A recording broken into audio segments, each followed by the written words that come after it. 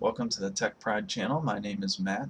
I'm going to be doing a quick and easy introductory video on how to hook up a mouse and keyboard to your tablet as well as using the SplashTop 2 app to connect your tablet to your desktop computer or laptop computer at home and finally how to play Diablo 3, StarCraft 2, Battlefield 3 and some other modern graphics intensive games right on your tablet remotely.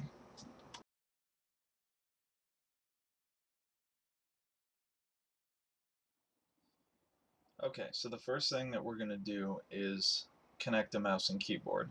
So this is a Bluetooth keyboard. Uh, it was about 34 bucks. Came with this very nice case.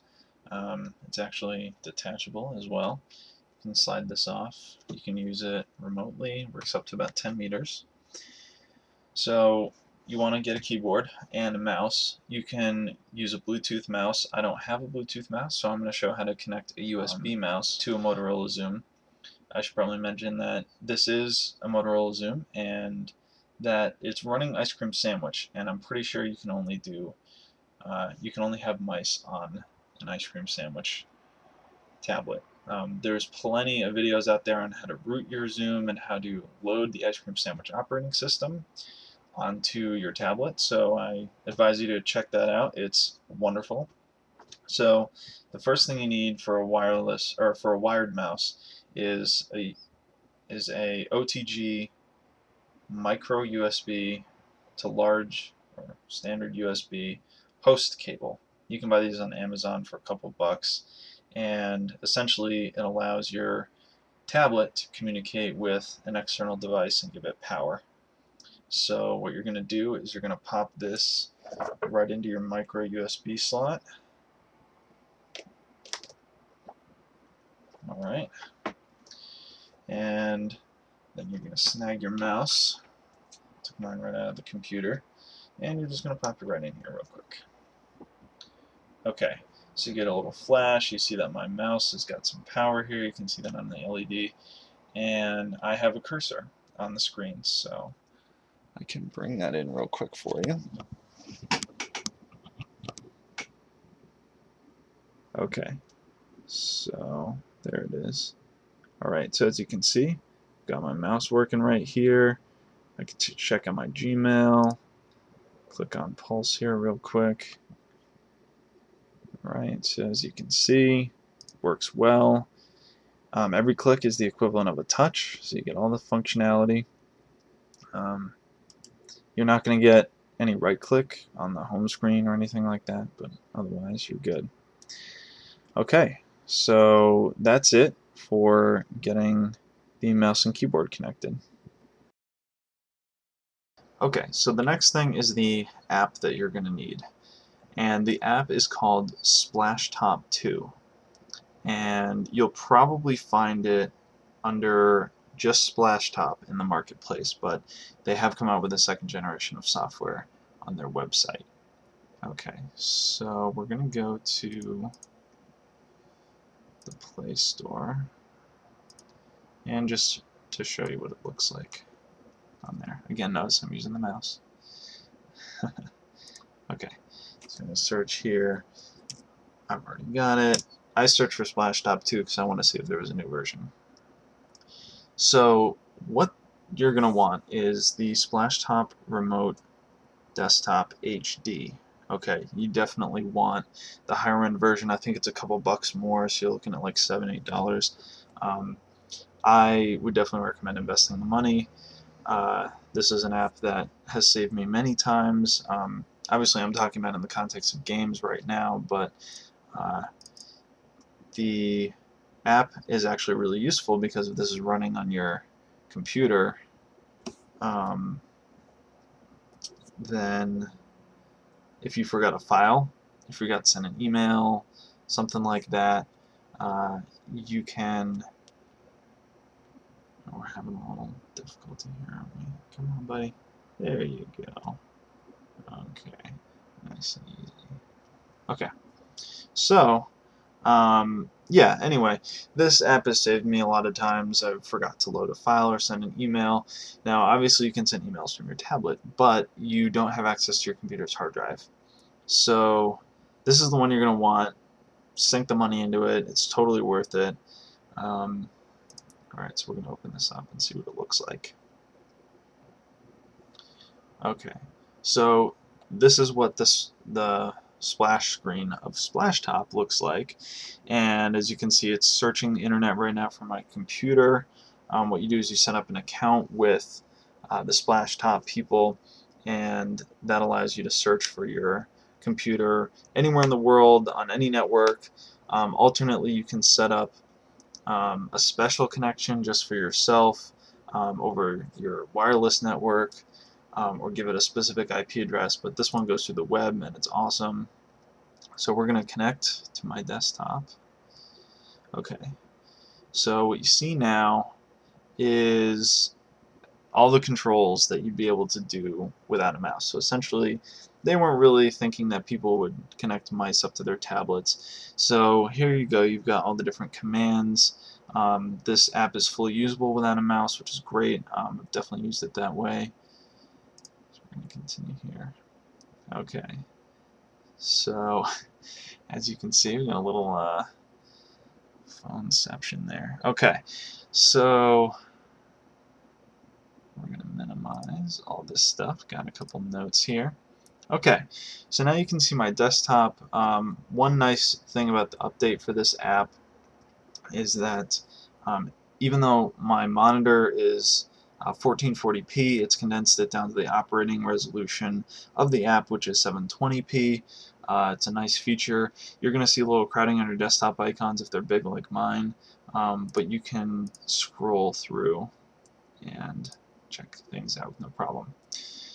Okay, so this is um, this is Splashtop. So just to get at what I was saying before, um, here's what's so great about this app. You can go to My Documents and find something that you needed to send out um, from your computer's hard drive, right? I have like five, um, something on there, and then, you know, load up the internet and you can send that remotely in an email. Alternately, um, you can also watch videos. Oh, that other thing came up on my other monitor. Interesting. Okay, so, alright, let's go in here, check something out. We've got, let's see, an action movie. Also, this is going to be sending audio. Um, I've disabled audio so that you don't get weird effects um, on the video. But let's watch Iron Man. Okay, so this is a 1080p video, and this is coming through. Full screen that.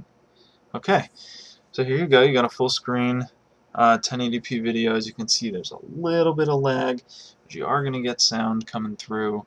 Um, something that's nice is that the sound does not come out of your computer, so people aren't going to be freaking out at home. Um, Alright, yeah, so as you can see, it's very crisp, very good quality, um, and th those artifacts are in the original. Um, okay, yeah, so there you go. Pretty, pretty nice. Um, Pretty nice picture quality there. Okay, so exit out of this. One thing you may be noticing is a little bit of mouse lag um, from in the video, but as far as click lag, there is a little bit less. It's a little bit more accurate with the click. Oh, no, it is waiting. Okay, so as you can see, there's a little bit of lag with the mouse, um, but to be expected for an $8 way to access your computer remotely. Um, okay, so let's actually load up a game here. So as you can see, some of my favorites, as I talked about in the introduction, uh, StarCraft 2, Diablo 3, and Battlefield 3. So we're going to load up Diablo 3 real quick.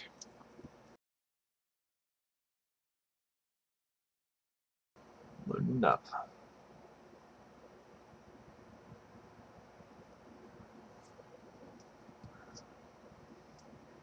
Okay, again, you're seeing a little bit of this this mouse lag here. Um, okay, so we're in game, and like I said, it's a little laggy.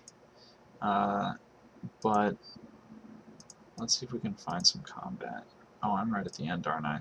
Let's see if I can find something outside. Okay, so it's a little laggy.